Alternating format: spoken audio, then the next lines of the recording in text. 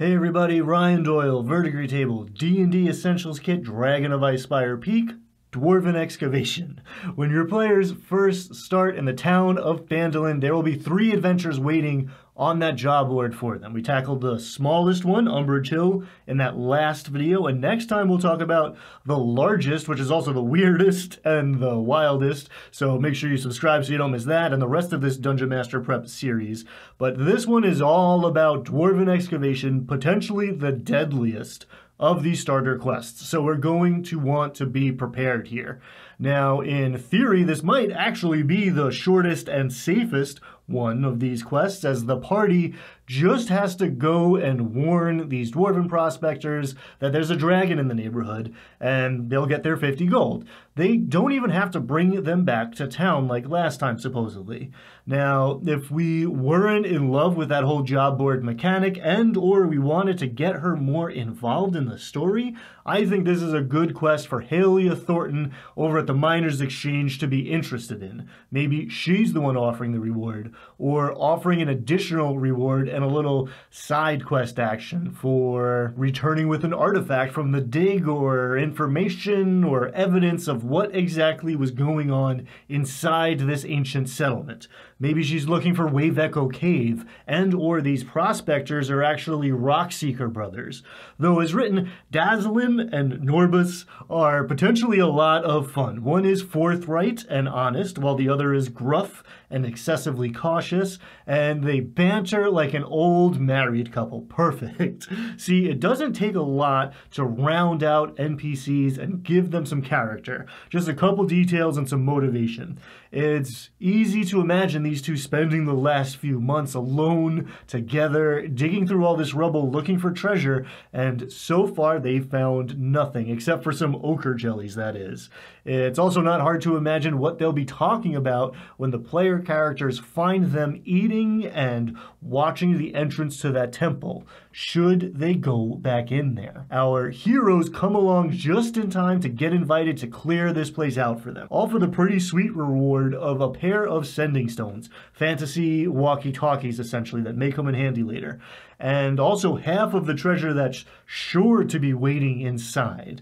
Now, as far as the treasure waiting inside this ancient temple filled with secret doors, this quest feels a little stingy to me. We do get 150 gold pieces worth of gems in a secret compartment filled with skulls, so that's nice. Plus we get that 50 gold piece necklace that says greed is good on it.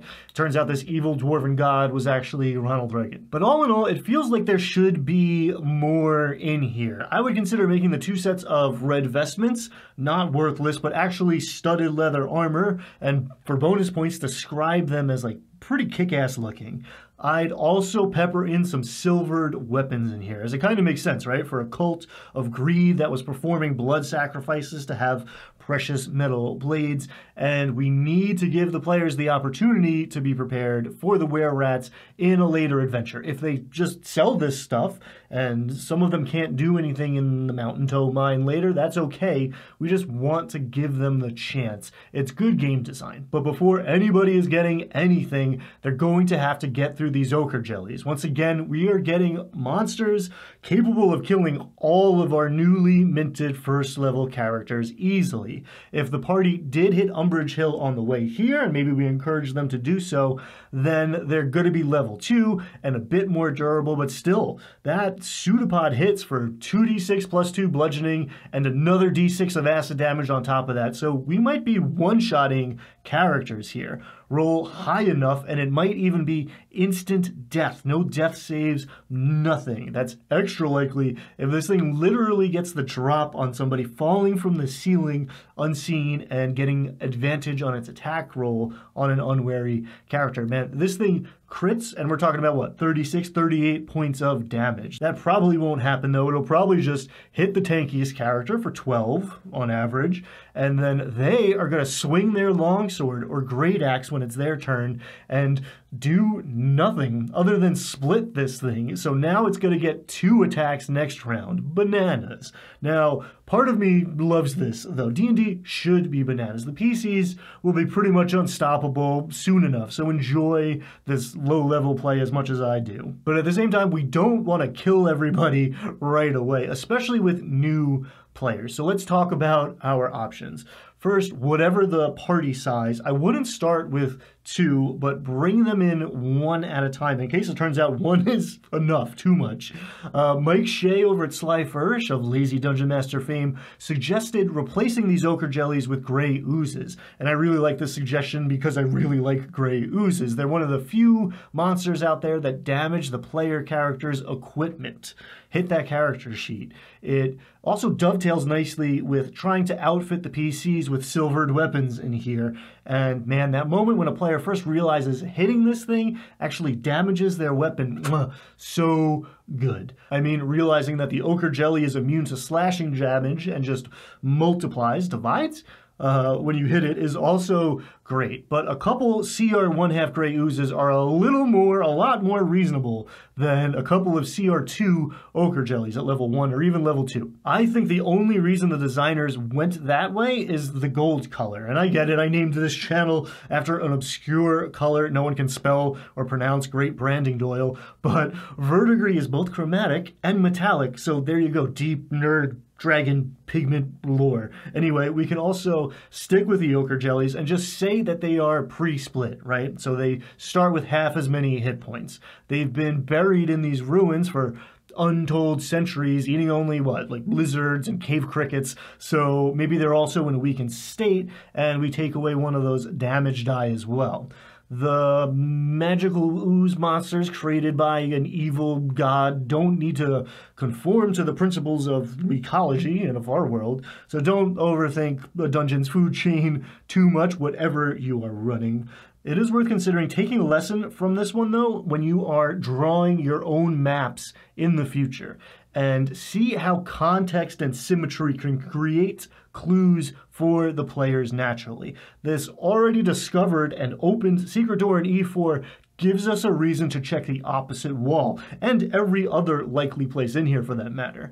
You can call for investigation checks or encourage your players to get creative with it and describe what they're doing. Checking for gaps in the stonework with like a dagger, or spreading flour or sand around the edges of the room to check for a draft, or just hitting everything with a tool to listen for hollow spots when it's starting to feel like you're just rolling dice and comparing numbers a little bit too much, and there's what, eight secret doors, nine secret doors in here, try to use your imagination a little bit and encourage your players to do the same.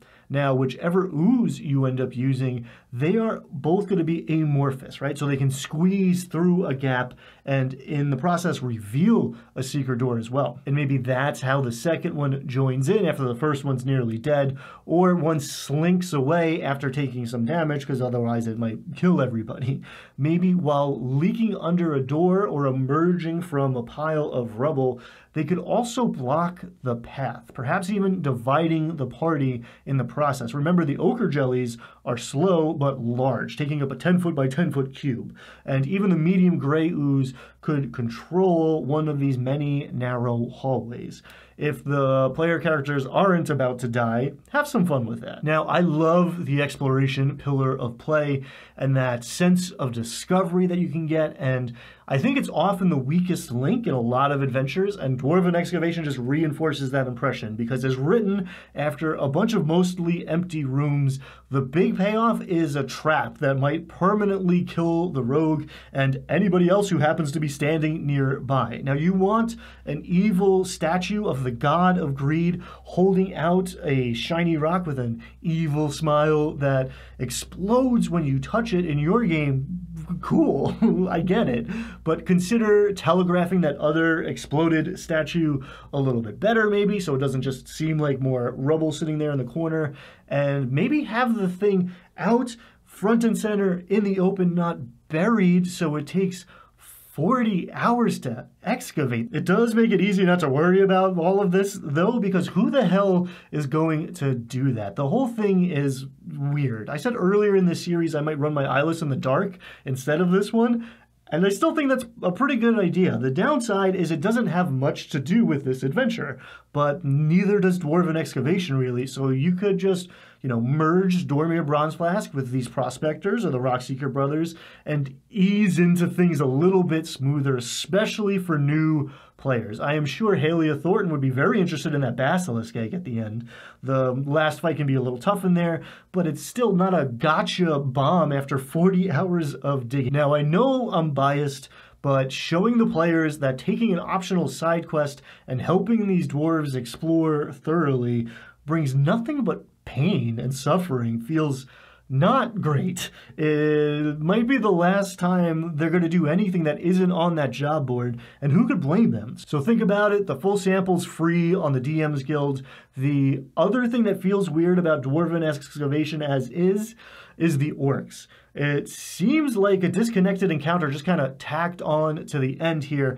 And to me, it feels particularly strange that it only happens if the PCs do everything else in here first. If anything, I'd set it up so that if they don't go into the temple, they just tell the dwarves there's a white dragon flying around and head back to Phandalin, then that's the case where I would trigger the orc attack. Not when they're limping out of a pretty difficult adventure.